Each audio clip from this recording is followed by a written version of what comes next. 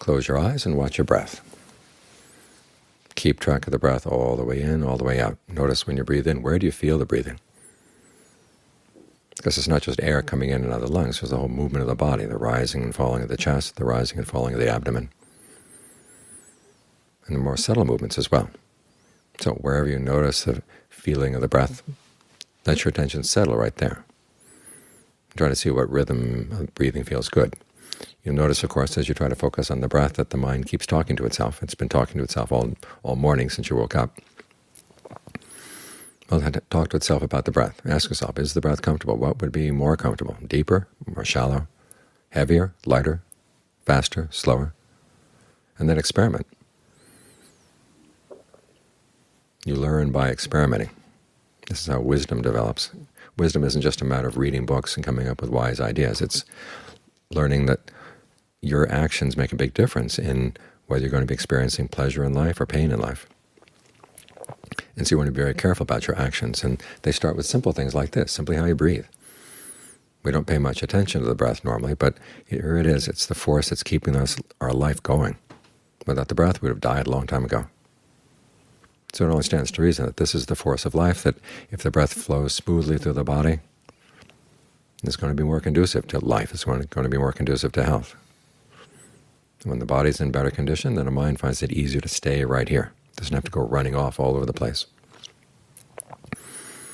One of the hardest things for most people to do is just sit very quietly by themselves, and yet this gives you something to do while you're sitting very quietly by yourself and to feel at home being here. You don't have to get involved in issues outside. You can just be with your breath coming in, going out, have a sense of ease with the breath coming in, going out.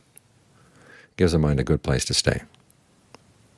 And the conversations you have about the breath can keep you interested, because as you get to know the breath more and more, you find that there are lots of subtleties to the breathing energy. After all, you begin to feel energy flowing through the nerves, energy flowing through the blood vessels, out to every pore. And you can take advantage of that, allow the energy to flow smoothly everywhere. That way you have a sense of being at home right here. When you're at home right here, then you can watch your mind. Because it's the mind that's making all the decisions. You want to be here while it's making those decisions to make sure it's making them well. Otherwise, it's like handing keys to your car over to a, a stranger. You don't know what the stranger's going to do. But here, if you're riding in the car, you know Now's the time to turn left. Now's the time to turn right. You're there as the decisions are being made, and you make, make sure that they're being made well for the sake of your own happiness, for the sake of the happiness of others, now and on into the future. So try to get a sense of belonging right here, the sensation of the breathing coming in and going out right here in the present moment. Because when you stay here, you get to see a lot of things you never saw before.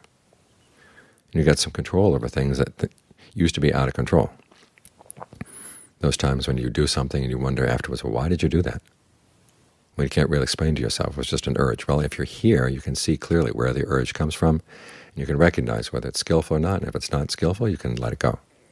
You don't have to flow along with it. You put mindfulness in charge. You put alertness in charge. That way you can drive your car wherever you want to go.